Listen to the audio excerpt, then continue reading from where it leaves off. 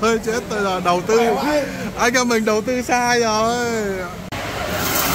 Này tổ chức uh, bắt đầu lúc mấy giờ ạ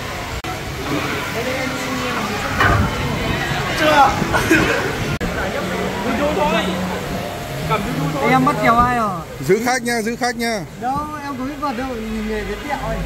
À, lắm à hai bạn. À. vật đi không xuống.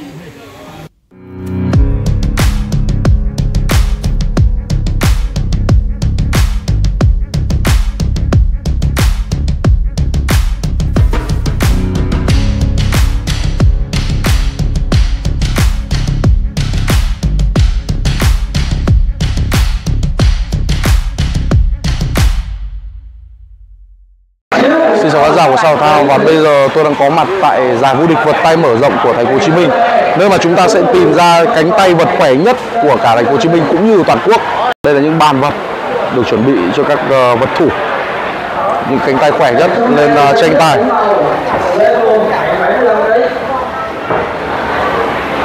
Giải đấu được uh, rất nhiều anh em trong cả nước tham gia. Và chúng ta sẽ đến với một trận đấu vật tay ở hạng thi đấu nhẹ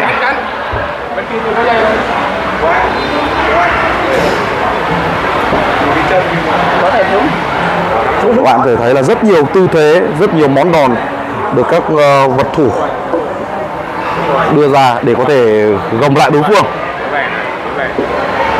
Vật tay là một môn thể thao có lẽ là rất là lâu đời rồi. Từ khi chúng ta sinh ra thì ai cũng biết được môn vật tay. Ở trong những cuộc đấu vui những cuộc ừ,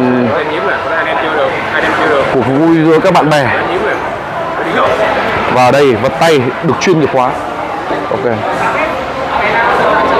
Ok. Vật tay được chuyên nghiệp hóa rồi. Và để giữ cho tay của các vật thủ không bị rời khỏi nhau, thì ban tổ chức đã thêm một sợi dây. Sợi dây này sẽ giúp cho tay của các đối thủ được dính chặt vào nhau. Và sẽ giúp cho trận đấu được diễn ra một cách xuyên suốt chúng ta có thể thấy ngay cả chân cũng đang được tận dụng những ưu thế nhỏ nhất trên bàn vật tay đang được các võ sĩ sử dụng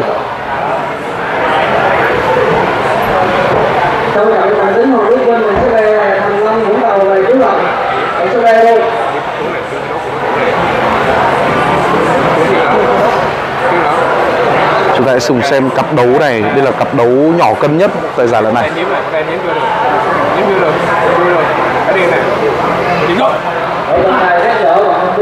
một trận đấu rất nhanh. Các võ sĩ các vật sĩ ở đây không chỉ phải khỏe mà cũng phải nhanh nữa. Nắm bắt thời cơ để có thể giành cho chiến thắng chấp nhoáng.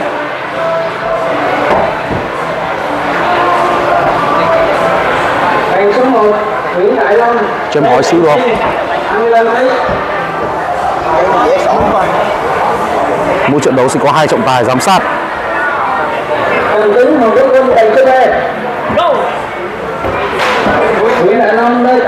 Chúng ta sẽ đến với một uh, trận vật tiếp theo. Và cả hai vẫn phải rúa định bằng những cái à, sợi dây đai. Để có thể khiến tay được liền mạch với nhau để cho trận đấu diễn ra một cách tốt hơn.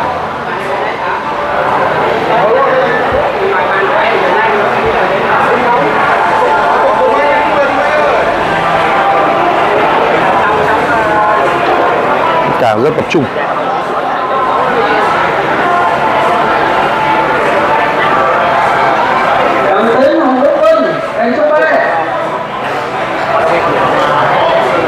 Những cái dây được siết thật chặt.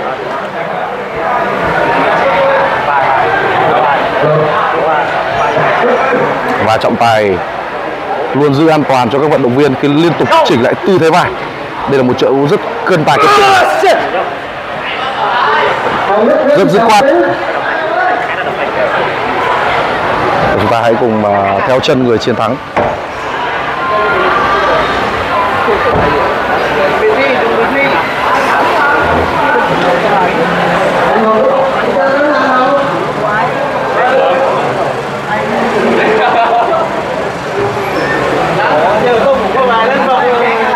ờ, chúng ta sẽ xem một chân một uh, qua cho con một vật thủ rất to con Lan Tuyền, Vũ Trần Thanh Lý, bạn số 2 hạng cân nặng Đào Trung Hậu, Nguyễn bỏ cò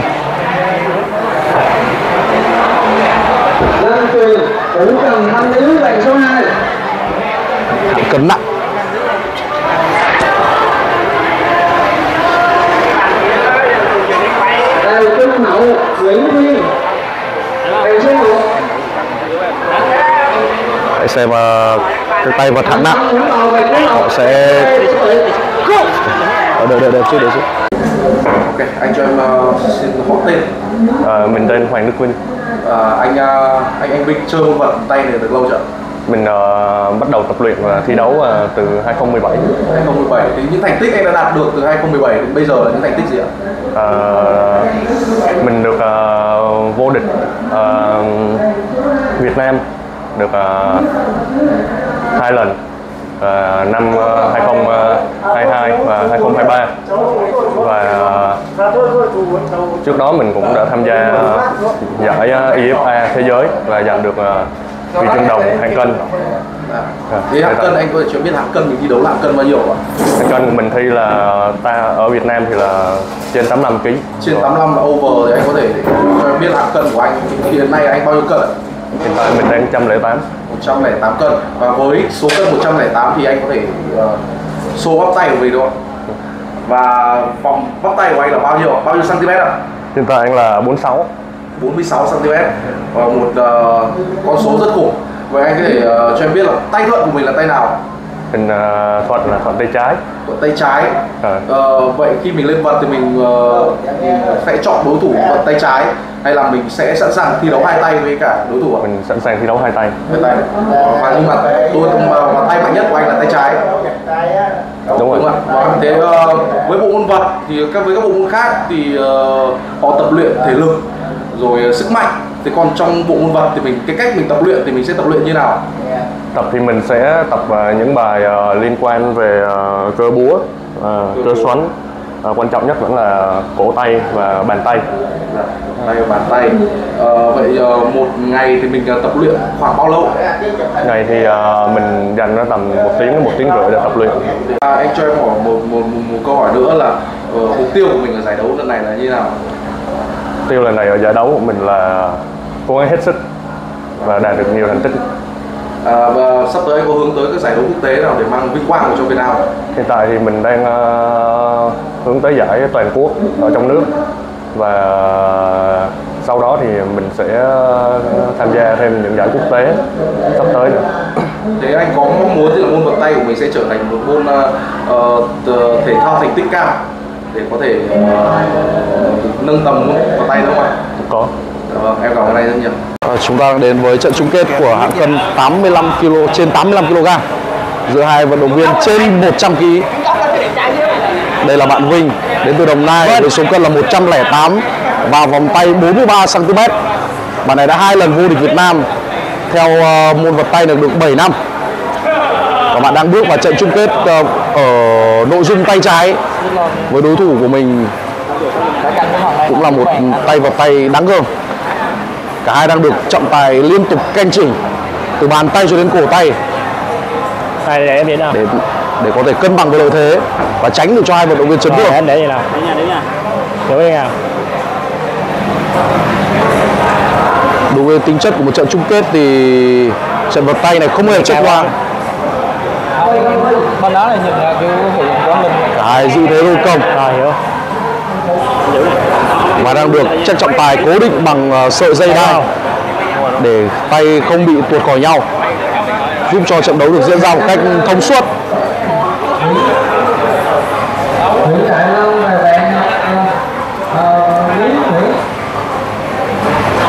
Bạn Vinh có chia sẻ là bạn Vinh bên góc ờ, phía bên trái có chia sẻ rằng là một ngày bạn bỏ ra đến 2 tiếng để tập ờ, vật tay. Ngoài vừa tập những bài tập liên quan đến tay thì bạn ờ, tập rất đều các phần bộ phận trên cơ thể để có một ờ, sức khỏe và thể lực dẻo dai. Tham gia những giải đấu dài ngày.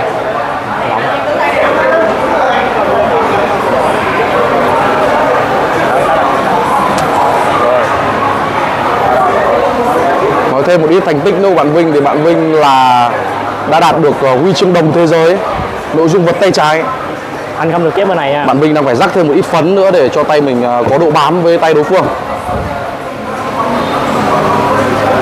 Đốt nè tôi thấy đốt nè. Nghe cái đốt á. Bạn rồi Vinh đã thủ thế chân. Cả hai đã thủ thế chân rất chắc. Và theo tôi nghĩ đây là lần vật tay quyết định của hai em. à, vật thủ. Đốt tôi thấy đốt. Trọng tài liên tục nhắc nhở phần cổ tay của hai vận động viên đốt lần hai.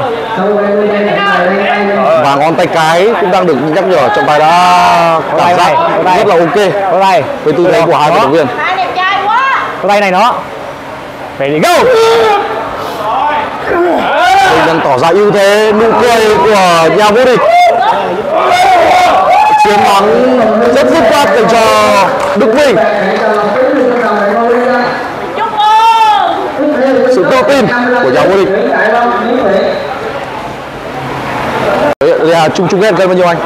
Và xuống chúng ta sẽ đến với trận chung kết hạng cân 55 cuộc chiến giữa bài bạn bài bài bên phía bên phải và bạn Đại Long bên phía bên trái. Tôi thấy đốt trận đấu của giữa một loài vật vàng. một loài vật chỉ có trong truyền thuyết. Hiểu vàng được rồi rồi hiểu rồi. Chúng ta hãy chờ đợi xem ai là người chiến thắng ready go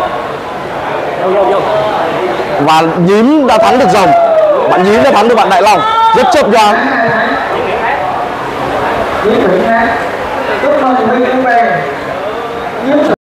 Chúng ta đang đến với ờ, trận chung kết hạng cân 75 kg. Nội dung tay trái giữa bạn phú và bạn hiếu bạn phú bên góc bên phải và bạn hiếu bên góc bên trái. Chúng ta có thể thấy là bạn uh, phú là có gương mặt trẻ hơn bạn hiếu rất nhiều. Và chúng ta sẽ xem xem là kinh nghiệm của ờ, tuổi già có thể chiến thắng được sức mạnh của tuổi trẻ hay không.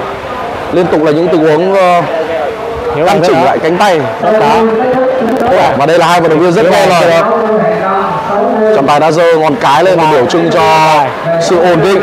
Go một tình huống rất chớp nhoáng và phú với sức trẻ của mình đã giành chiến thắng. Dạ, đầu tiên là em tên ờ, Nguyễn Tấn Phú. Ờ, Năm nay ờ, em 2K6, có nghĩa là em 18 tuổi. Thì đây là lần đầu tiên em tham gia giải lớn Sài Gòn. Vâng. Bộ môn này lâu chưa mà biết ờ, vì sao lại có cái tình yêu với bộ môn này?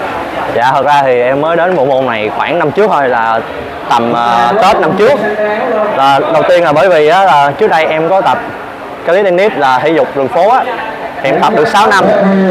Nhưng mà tập cái tennis nhiều em bị chấn thương. Thì em buộc em phải à, em thì khi mà chấn thương rồi em rất là nản. Nhưng mà khi mà tìm được cái bộ môn này ở Giang á có một team Giang ở Bình Dương thì em có vô vật thử thì cảm giác vật nó rất là vui. Thì vật tay nó không chỉ là mình giật qua rồi hắn nhưng mà mình còn phải sử dụng kỹ thuật rồi áp dụng kỹ thuật rồi nọ anh. Mình phải suy nghĩ tính toán đồ nên nó rất là hay. Nên em nghĩ là em cũng có nền tảng nên em theo đuổi bộ môn này. Vâng. Ờ, tập luyện môn này có khó không? Theo em thì nó sẽ rất là khó nếu mà không có ai dẫn dắt thì đặc biệt là em được dẫn dắt bởi một người là anh ờ, tên là Lê Công Quang Khải cũng team Giang luôn. Thì anh chỉ em ờ, tập cũng như là lần đầu tiên đến giờ luôn á là lần là tập từ những bước cơ bản đến giờ luôn.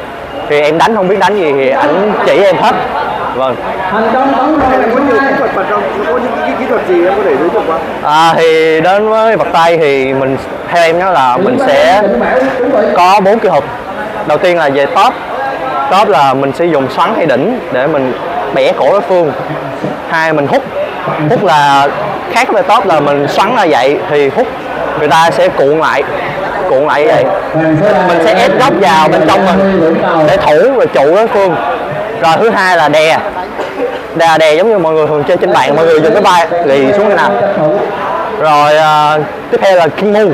Thì kinh mu là một cái đòn rất là khó chơi là mình sẽ giữ một cái góc nó rất là giãn cỡ này nhưng mà mình sẽ vẫn giữ cái góc độ với cái cổ đó để cố định để mà vả vậy. Mình sẽ trụ cho đối phương bị mệt hay gì đó là mình sẽ vả lại hoặc là đè xuống.